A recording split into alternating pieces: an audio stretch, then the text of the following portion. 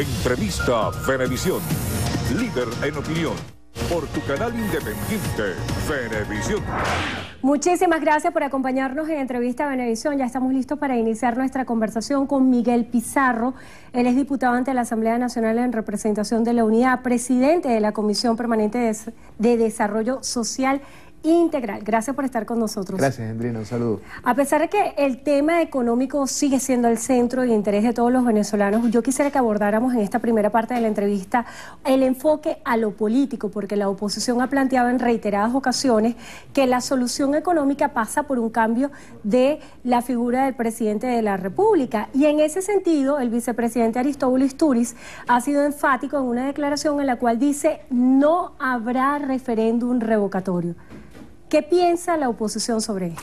Mira, cuando uno observa el comportamiento del gobierno, no solo con el tema político, sino en lo económico, en lo social, cuando observas la negación, cuando observas el atropello, cuando el discurso está basado en el uso del poder como si fuera un préstamo eterno, sin tener que rendirle cuentas a la ciudadanía, y cierra mecanismos como el revocatorio. Cuando busca declaraciones de Aristóbulo, las mismas declaraciones de Diosdado, buscar darle como el muchacho que le pone el dedo en el ojo al otro hasta que se molesta y le da un pescozón, eso lo que busca es provocar y sacar del camino electoral a una oposición que entendió que solamente a través de mecanismos constitucionales, pacíficos, cívicos y electorales como el revocatorio podremos generar los cambios que este país necesita. Declaraciones de Aristóbulo son declaraciones claramente fuera de tono. Lo intentan hacer para que nosotros pensemos que es imposible, para que usted que me ve en su casa crea que estamos condenados a que las colas, la escasez, el costo de la vida, la inseguridad sea una realidad con la que tengamos que convivir todos los días y cada hora que pasa nuestra existencia y no que tenemos como hoy en día tenemos mecanismos reales para poder propiciar los cambios. No es un capricho el referéndum revocatorio, es nuestro derecho, es una figura constitucional y que además se ha utilizado antes en nuestro país. Ahora, cuando los números claramente no le convienen, cuando claramente tienen el apoyo popular absolutamente en contra de ellos, buscan cercenarlo, cerrarlo y obstaculizarlo. Cuando usted hace referencia a que el referéndum revocatorio no es un capricho, también vienen a la mente declaraciones del diputado Diosdado Cabello, que, quien dice que el referéndum revocatorio es una excusa para tratar de tapar un golpe de Estado. Al contrario, Andrina, mira, precisamente si alguien está radicalmente en contra de salidas violentas, de atajos, de mecanismos de soluciones de esas mágicas que a veces venden en Twitterzuela pero que no tienen asidero en la realidad, somos los que defendemos el mecanismo del revocatorio como camino para propiciar los cambios. Porque este país donde estamos hoy todos nosotros viviendo es una olla de presión y requiere causas que permitan que se desahogue esa presión en la que estamos viviendo hoy. Hoy es una bomba de tiempo encima de la que todos estamos sentados. Y cuando pedimos el revocatorio lo hacemos convencidos que es el único mecanismo pacífico para salir de esta crisis, que es el único mecanismo que garantiza que el ciudadano, su voto y su conciencia sea lo que se imponga y no la fuerza bruta. Nosotros no queremos golpes de Estado. Nosotros no queremos despertarnos un día con un coronel mandando desde Miraflores diciendo que ni los unos ni los otros, porque no fuimos capaces de generar los cambios que este país necesita. Y ellos, que tienen hoy el control del poder, deberían tener la misma preocupación que nosotros. Que ese caldo de cultivo que tenemos hoy en día, esa presión social que estamos viviendo, no explote en la cara de todos nosotros. Somos políticos y la política tiene una herramienta fundamental, que es la palabra y la idea como herramienta de confrontación y no la violencia física y las manos. Ellos quieren que el camino de la calle se llene de violencia y por eso hacen lo que hacen.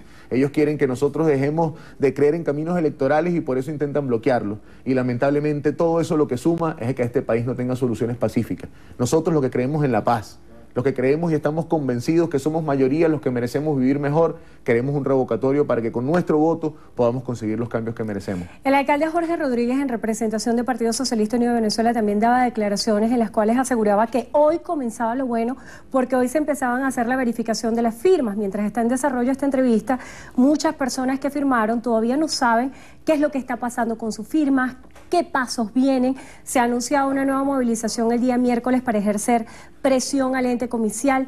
¿Qué es lo que viene? Mira, ellos han venido cambiando su propio reglamento a medida que avanza, ¿no? Y le han metido ahora una nueva estación que no existía en el reglamento original. Ahora plantean la digitalización de la firma.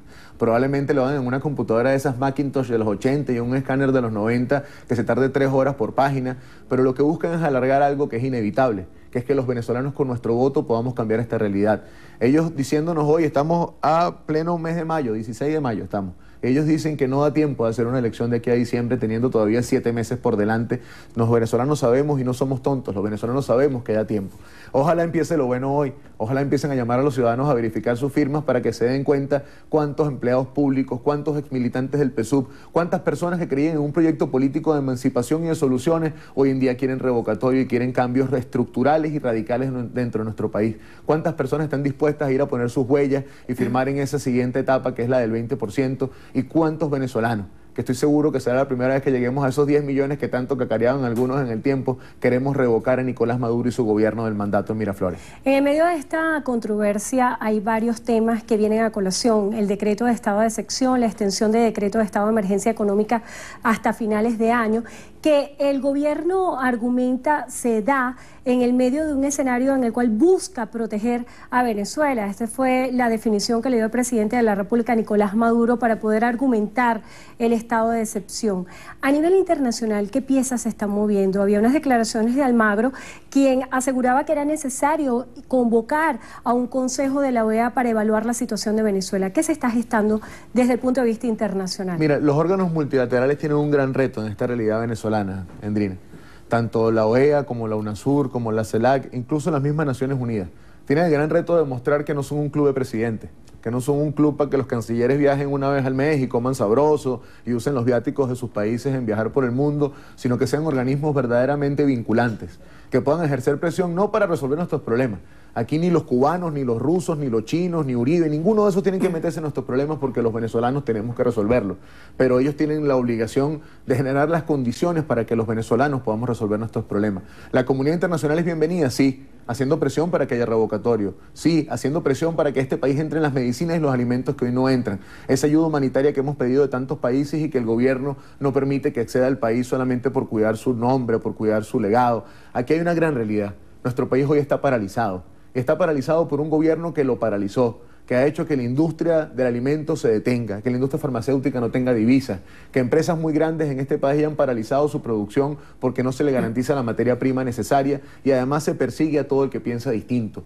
¿Qué ha cambiado desde que tenemos el decreto de emergencia económica? ¿Qué ha mejorado desde que tenemos la emergencia económica? Ha disminuido una cola, ha bajado un precio, alcanza más el sueldo, nos matan menos por un teléfono, por un carro, nada de eso ha cambiado. Al contrario, sigue empeorando. Ante esa pregunta que usted hace, ¿qué se ha logrado con el decreto de emergencia económico? El vicepresidente Aristóbulo Isturias en un acto público daba una respuesta.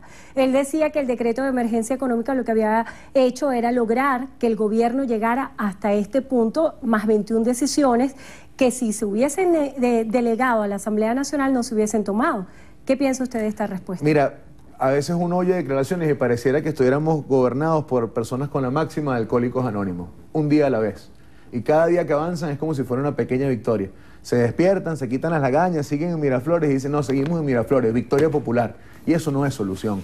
Mantener la estabilidad de un gobierno solamente por los privilegios del poder no es solución. Que tú tengas 22 resoluciones, que tú tengas 200 gacetas oficiales publicadas, pero que el precio siga siendo alto, que la inflación se siga comiendo el sueldo, que las medicinas no se consiguen. Andrina, mira, la semana pasada yo recibía chamos pacientes de quimioterapia en la comisión. Un chamo de 16 años que me decía que porque no hay abastín en este país tiene dos opciones. O se muere en la quimioterapia o se muere por no hacerse la quimioterapia. Pero mientras esa medicina no llegue, él solamente está condenado a morirse. Nosotros no merecemos que eso sea así. Nuestras propias familias.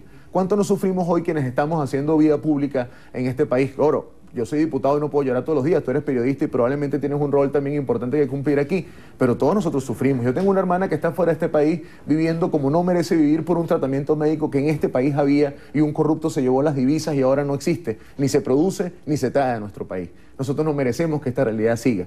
Y por esa realidad difícil, que hoy cuesta vidas, que hoy cuesta salarios, que hoy cuesta oportunidades, futuro. Yo tengo 28 años. Mi generación, ¿qué futuro tiene en esta realidad? Más allá de un título que adorna en la sala, ¿qué significa para nosotros poder seguir creciendo como estamos? Mientras esta realidad no cambie, y eso pasa necesariamente por el cambio pacífico, electoral y constitucional del gobierno, nosotros seguiremos retrocediendo y ellos seguirán viviendo privilegiados. ¿Cuál es el compromiso de la oposición venezolana ante ese escenario que usted describe? Primero, mucha cercanía, Andrina. Nosotros no podemos convertirnos en los extraterrestres que criticamos. El tema político es importante, pero es importante porque está complementado y sustentado en un profundo drama económico y social. Segundo, la política no puede ser inescrupulosa. Debemos cambiar el poder, debemos cambiar a quienes están en el gobierno, pero en paralelo debemos proponer soluciones. Producción nacional, ayudas humanitarias, discusiones que aunque sean difíciles tendremos que dar con el gobierno, con los sectores sociales, con los sectores productivos y con los sindicatos. Pero sobre todo hay que cerrar el ciclo de la venganza, del revanchismo, de la negación, de creer porque somos mayoría ahora tenemos la patente de corso de perseguir, insultar o señalar al que piensa distinto. Demasiado tiempo en esa dinámica nos trajo a donde estamos hoy en día. Es hora de abrir la mano y cerrar y quitar del camino esos puños de hierro que tantas veces nos ponen a pelear sin necesidad. Cuando usted hace referencia a la producción nacional, vienen a la mente también las declaraciones que daba el presidente de la República, Nicolás Maduro, acerca de expropiar o poner en manos del poder popular a todas aquellas empresas que no estén produciendo. Desde la Asamblea Nacional, ¿qué se piensa hacer? Mira, yo presido la Comisión de Desarrollo Social. A mí me toca tener interacción con sindicatos todas las semanas y con personas tanto del sector público como del sector privado. ¿Qué industria y qué sector del país hoy no está paralizado por la acción del gobierno? Que controla las divisas, que controla la materia prima, que controla las importaciones, que controla los contratos colectivos, que controla las guías de movilización, porque ellos hablan como si fueran, bueno, unas víctimas de todo un modelo que ellos diseñaron y que ellos son los grandes responsables de cada uno de los sectores. ¿Por qué no hay alimentos? ¿Por qué no hay bebidas? ¿Por qué no hay medicinas? ¿Por qué no estamos produciendo nosotros lo básico ni siquiera en la CBG o en SIDOR como existía antes en este país? Todo lo que el gobierno ha tocado y ha controlado lo ha destruido. Y lo que depende del gobierno y su acción, como son empresas que no las voy a mencionar aquí porque estamos haciendo, terminaríamos haciendo publicidad por emplazamiento y a lo mejor los multan, pero ¿cuántas empresas hoy no están paralizadas? Son más de 3 millones de plazas de empleo que están hoy en riesgo por acciones del gobierno. El gobierno es el gran responsable de la paralización. Y lamentablemente, en vez de sentarse, de reflexionar, de llamar a empresarios, a sindicatos, a gremios y ponerse a discutir, a ver cómo cambiamos este modelo, cómo garantizamos la producción local en verdad y no seguimos privilegiando las importaciones. Porque el gran drama de esto es que seguimos privilegiando las importaciones. Seguimos prefiriendo el producto de la transnacional que viene ya empacado que el producto hecho en Venezuela. Seguimos prefiriendo darle trabajo a rusos, chinos, bielorrusos que al venezolano que se ha partido el lomo por levantar este país. Mientras ese modelo sigue existiendo, esta crisis se sigue profundizando. Y es hora de reflexionar porque nosotros no podemos solamente porque un grupo quiera mantener el poder dejar que todo pase como siga pasando. El gobierno debe sentarse con el sector productivo y buscar soluciones urgentes, porque el tiempo se cuenta en vidas. Pizarro, tomando en cuenta esa consideración de que el tiempo se cuenta en vida y tomando en cuenta situaciones de criminalidad que están afectando a nuestro país. Hoy, de manera extraoficial, se daban cifras que 230 cadáveres han ingresado en el mes de mayo a la morgue de Bellomonte. ¿Qué respuesta hay en materia de seguridad para los venezolanos desde la Asamblea Nacional? Mira, hemos planteado tres cosas de arranque. ¿no? La primera es que podamos discutir sobre el sistema judicial. Un sistema judicial con 92% de impunidad no garantiza que se acabe este círculo vicioso de la delincuencia, del homicidio, del sicariato. Segundo, que nosotros podamos proteger a los cuerpos policiales. Hoy los policías no tienen seguridad social. Ahí desde Primero Justicia, la diputada Yajaira Forero ha venido trabajando en una ley de seguridad social para el sistema policial que no existe hoy en día. Ellos están en las mismas condiciones de cualquier trabajador, siendo ellos quienes exponen y arriesgan su vida cada día por protegernos a nosotros. Y lo tercero, hay que repensar el modelo policial. La ley de la Policía Nacional es muy importante, los avances que tenía, pero se ha quedado corta en el camino. Hay que repensarnos nosotros cuerpos especializados, mayor protección de ellos y mejor poder adquisitivo del que combate hoy en día el delito. Esas tres cosas, aparte de nosotros poder combatir contra la penetración del Estado por parte de grupos organizados. Lo que pasaba con el Picure. ¿El Picure cuánto tiempo tardaron en detenerlo? ¿Y eso es por qué? Porque él era Houdini, él era David Copperfield que se escondía. No, es porque había complicidades internas, porque hay cuerpos y organismos de seguridad que han estado penetrados por bandas delictivas que nos tienen viviendo en las condiciones en las que estamos. Sin justicia sin órganos de seguridad y sin protección al que lucha contra el crimen, no hay forma de que nosotros avancemos. Pizarro, se nos agotó el tiempo. Yo quisiera que brevemente nos hablara acerca de una denuncia que estaba haciendo el presidente de la Asamblea Nacional, Ramos Ayub, quien decía que el TCJ ya tiene una sentencia para remover a la directiva del Parlamento argumentando desacato.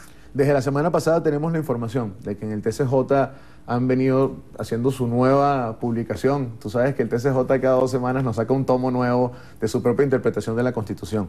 Ellos están amenazando y tenemos información muy seria interna de que quieren hacer una sentencia que busque dejar sin competencia a la directiva de la Asamblea Nacional y además ponernos en desacato durante todas estas sesiones que ha venido avanzando el Parlamento. Es parte de la misma miopía. Ellos creen que escudándose en sentencias, en decisiones administrativas o en casetas oficiales resuelven el problema político. Y es no entender el problema político. Esto no se trata de que a Pizarro, a Henry o a Borges nos, nos persigan o nos acuse un magistrado o un tribunal. Esto se trata de que mientras que ellos quieren pelear con nosotros, en paralelo hay un país entero viviendo el peor drama de su historia. Y ellos creen que con sentencias y con cadenas se resuelve, mientras que la realidad cada día es más estruendosa. Y lamentablemente eso en política se paga y se paga muy caro. En este caso ellos lo pagarán saliendo del poder. No se puede pasar tanto tiempo causándole daño a tanta gente, invisibilizando tantos problemas, haciendo que el drama cada día crezca y pensar que el saldo va a ser impune al final de la cuenta. ¿Cuál es la esperanza de los venezolanos? Si yo me paraba aquí hace un año, Andrina, y te decía el 16 de mayo del año pasado que el 6 de diciembre nosotros íbamos a tener dos tercios de la Asamblea Nacional, probablemente tú me sonreías, la gente salía contenta a su casa, pero me llamarían loco. Hoy yo les puedo decir, en mayo de este año, que este país tiene muchísimo más futuro que pasado, que los buenos somos muchísimos más y que antes que termine este año tendremos un revocatorio que permitirá que de forma pacífica los venezolanos decidamos en qué país queremos vivir, que es uno radicalmente distinto a este de las colas, la crisis y la violencia. Muchísimas gracias, Miguel Pizarro, diputado ante la Asamblea Nacional en representación de la Unidad, presidente de la Comisión Permanente de Desarrollo Social Integral. Gracias por estar con nosotros hoy en Entrevista a Benevisión. Y gracias a ustedes también por habernos acompañado. Que tengan todos feliz tarde, Néstor. Feliz tarde también para ti, Andrina. Amigos, y hasta aquí la presente emisión de su noticiero Benevisión. Recuerden, Noticiero Benevisión Canal 4 reporta y ustedes deciden. Buenas tardes para todos.